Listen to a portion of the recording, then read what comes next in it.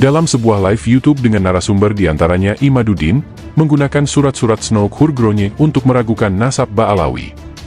terkait kemudian dengan uh, masa Ba'alwi ini yang kita telah mendengarkan tadi bagaimana Kang Mas Rifki Zulkarnain membacakan bahwa Christian sendiri sebagai seorang teman dari Ba'alwi itu masih meragukan uh, Ba'alwi ini tentang ketersambungan nasab Ba'alwi terhadap Rasulullah Muhammad SAW atau kepada Rasulullah. Bagaimana di tahun 1890-an seorang Christian Senohor Gronje ini uh, sudah memiliki apa namanya itu keraguan terhadap nasab dari Ba'alwi padahal di masa Christian ini sumber-sumber yang ada di sekelilingnya adalah sumber-sumber yang sangat mendukung nasab Ba'alwi. Jawabannya menurut saya adalah karena Christian seorang akademisi yang apa namanya melandaskan semua pengakuan terhadap dalil-dalil yang dimiliki. Walaupun surah wal istifadah yang terjadi di masa Christian Senohor Gronje dan kitab-kitab nasab yang hari ini bisa kita temui atau saya khususnya bisa baca dan bisa teliti dan dari itu saya berkesimpulan nasab ini putus pada saat Senohor Gronje itu belum ada sama sekali uh, masifnya informasi dan surah istifadahnya Ba'alwi ketika zaman uh, Senoh Gronje ini sebagai seorang apa sebagai sebuah klan yang merupakan keturunan Nabi. Tetapi bersamaan dengan itu semua, Senohor Gronje tidak percaya dengan seyakin-yakinnya bahwa orang-orang yang bersahabat dengan dia ini, terutama Utsman uh, bin Yahya, adalah merupakan keturunan Nabi dengan meyakinkan. Dari sinilah kemudian kita apa namanya itu uh, uh, hari ini dapat menyimpulkan bahwa jika seorang akademisi mau membaca dengan teliti seperti Christian Snohor Grange dengan apa namanya itu uh, dengan berbagai macam fasilitas literatur yang tersedia hari ini maka akan yang sama dengan saya. Kenapa? Karena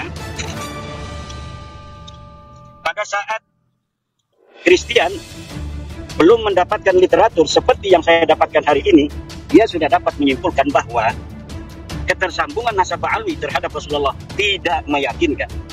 Apalagi jika seorang Snow Gronje hidup hari ini, maka mungkin dia akan berpikiran dan berkesimpulan dengan lebih meyakinkan bahwa sesungguhnya Ba'alwi ini bukanlah keturunan baginda. Sangat problematik memang kubu Imaduddin ini, menuduh Ba'alawi adalah antek penjajah dan juga menolak nasab sadah Ba'alawi berdasarkan kitab Asyamsu Az-Zahiroh karena rujukan adalah adalah Van den Berry, eh sekarang menggunakan surat penasehat agama dari penjajah Belanda, Snoek Hurgronje, untuk membatalkan nasab Ba'alawi. Memang sudah menjadi tabiat mereka, mengambil yang sesuai dengan keinginan dan pemikiran mereka, dan membuang jauh-jauh sesuatu yang sekiranya bertentangan dengan keinginan dan pemikiran mereka. Menanggapi pernyataan Imaduddin CS dalam live YouTube tersebut, Rumail Abbas dalam postingannya memberikan komentar pedas kepada narasumber acara tersebut. Dengan mengutip pesan tweet dari Sugeng yang ikut live dalam acara tersebut, jika tidak punya kredensi, gak usah belagak jadi pakar suatu bidang tertentu deh. Rumail memberikan tanggapan yang sangat pedas, seluruh tamu undangannya malam ini tidak ada satupun yang saya lihat punya kredensi atau presiden sebagai historian, namun kenapa justru diberi ruang membicarakan sejarah?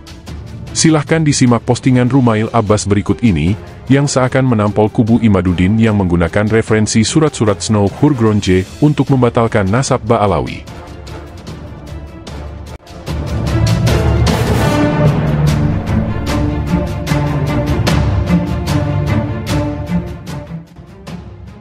Saya tadi membuka YouTube, dan ada live-nya Mas Sugeng Sugiharto, mengundang beberapa orang sambil membahas surat-surat Snow Hurgronye, dan tentu saja suratnya yang berkaitan dengan keraguan pada nasab Ba'alawi. Di antara narasumbernya ialah, Kiai Imaduddin Usman, Tubagus Mogi, Gus Fuad Pleret, Gus Aziz Jazuli, Kiai Ubaidillah Tamam, Rifki Zulkarnaen, co-host, yang magang jadi narsum. Di Twitter Mas Sugeng bicara tentang kredensi Fikri Syahab, yang diklaim Nabawi TV sebagai saintis yang membicarakan sains, baca, YDNA, bahkan meledek karena gak ada jejaknya di Google Scholar, Scopus, dan lainnya. Pesan dari tweetnya, jika tidak punya kredensi, gak usah belagak jadi pakar suatu bidang tertentu deh.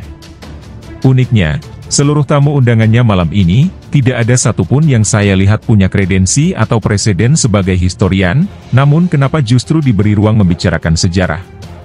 Saya bisa mengulasnya lebih dalam, tapi tidak sempat menulis panjang karena masih punya banyak urusan. Singkatnya begini, Pertikaian Robitoh Alawiyah dan Al-Irsyad sebenarnya terjadi jauh sebelum surat Snow Kurgronje, dan berpusat pada minimal dua tema, gelar Said Syarif, dan pernikahan Syarifah Ahwal. Untuk gelar Said Syarif, pihak Robitoh Alawiyah mengusulkan otoritas Belanda membuat regulasi, hanya diperuntukkan bagi Ashraf saja, Alawiyin, selain itu diberi hukuman sanksi. Otoritas tidak sampai memberikan keputusan, tapi Nahdlatul Ulama dalam Muktamar sudah memberikan jawaban, Said Syarif hanya boleh diberikan kepada keturunan baginda Nabi lewat Sayyidah Fatimah, tapi tidak ada keputusan soal takzir. Untuk pernikahan Syarifah Ahwal, Surkati, Al-Irsyad, berfatwa tentang kebolehannya, sekaligus menantang debat terang-terangan pihak Robito Alawiyah jika tidak setuju dengan fatwanya. Tak mau meladeni Ba'alawi kelas teri, Surkati mengajukan syarat, pihak kontra harus dari tokoh yang selevel dengan Muhammad Al-Muhdor, Muhammad Ba'agil, Abdurrahman Al-Habsyi, Muhammad bin Syahab, hingga Salim bin Jindan, yang terbilang akabirul habaib di masa-masa itu, untuk satu tema, bolehkah perempuan Ba'alawi dinikahi Hadromi non-sadah atau ahwal? Surkati berani melakukan debat karena bisa membuktikan sebaliknya, bahwa perempuan syarifah boleh menikahi siapa saja. Coba lihat baik-baik tantangan debat Surkati tahun 1919 di bawah ini. Pada dasarnya, Surkati tidak meragukan Ba'alawi sebagai wangsa Ashraf. Itulah kenapa ia berdebat tentang bolehnya pernikahan syarifah dengan non-syarif ya, karena perempuan Ba'alawi adalah zuriah Imam Ali dan Sayyidah Fatimah al-Zahra. Begitupun Snow Hurgronye dalam suratnya, tidak sedang membahas tentang keraguannya pada Ba'alawi, tapi kondisi orang-orang Hadromi yang meyakini Ba'alawi sebagai Ashraf di sana, yang sebenarnya agak ganjil jika diragukan. Kendati pun sah-sah saja jika mau membuktikan sebaliknya, toh argumentasi Balawi tidak begitu meyakinkan, dan hanya diterima begitu saja. Tadi saya diledek Gus Fuad, dia bilang saya mengajukan proposal untuk menjadi pembela Balawi. Padahal, orang paling awal yang mengetahui siapa sponsor saya adalah dia, dia pun tahu motif saya, dan saksinya adalah KRT Fakih dan Mas Sugeng. Apakah saya bisa disebut pembela Ba'alawi? Dibandingkan Imam Sahowi, Ibnu Hajar Al-Haytami, Malik Al-Afdol Al-Rasuli, Raja Yaman Dinasti Rasuli, Al-Hosroji, Usamah Al-Ashari, Ali Jum'ah, Mahdi Rohai, Ibrahim Mansur Al-Hashimi, dan lain sebagainya, tentu saja saya tidak layak menyandang atribusi sekeren itu. Jika sekarang saya ngoceh tentang kesahihan nasab Ba'alawi, sebenarnya saya tidak sedang membela Ba'alawi, tapi saya sedang membela argumentasi saya, yang mendapati bukti-bukti dokumen tentang kesahihannya. Itulah kenapa saya datang ke komal-komal TikTok yang membatalkan Ba'alawi, bahkan dikeroyok, hanya untuk memfalsifikasi argumentasi saya dengan pihak kontra. Coba kita adu, argumentasi siapa yang lebih jitu? Begitulah motif saya mendatangi komal-komal itu. Untuk duit sponsornya saya pakai untuk belanja manuskrip-manuskrip kuno, yang tidak bisa diraih hanya bermodal Google saja Gus Fuad.